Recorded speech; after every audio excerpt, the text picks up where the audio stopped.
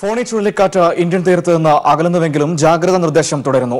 ആന്ധ്ര തീരത്ത് നിന്ന് ആയിരത്തി ഇരുന്നൂറ്റി അറുപത്തിയഞ്ച് കിലോമീറ്റർ അകലെയാണ് നിലവിൽ ഫോണിയുടെ സ്ഥാനം.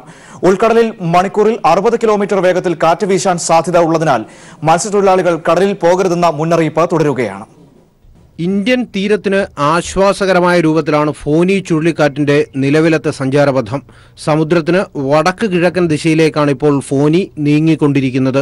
ആന്ധ്രാപ്രദേശിൽ നിന്നും ആയിരത്തി ഇരുന്നൂറ്റി അറുപത്തിയഞ്ച് കിലോമീറ്റർ തെക്ക് കിഴക്ക് മാറിയാണ് ചുഴലിയുടെ ഇപ്പോഴത്തെ സഞ്ചാരപഥം.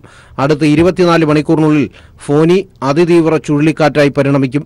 ചുഴലിയുടെ തീവ്രത മൂലം അടുത്ത രണ്ട് ദിവസം തമിഴ്നാട് ആന്ധ്രാ സംസ്ഥാനങ്ങളിൽ ശക്തമായ മഴയും കാറ്റുമുണ്ടാവും.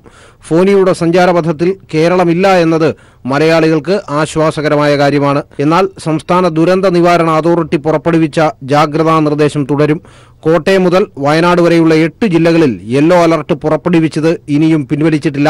അറുപത് കിലോമീറ്റർ വേഗതയിൽ കാറ്റ് വീശുന്നതിനാൽ മത്സ്യത്തൊഴിലാളികൾ കടലിൽ പോകരുത് എന്ന ജാഗ്രതാ നിർദ്ദേശം കർശനമായി പാലിക്കണമെന്ന മുന്നറിയിപ്പുമുണ്ട്.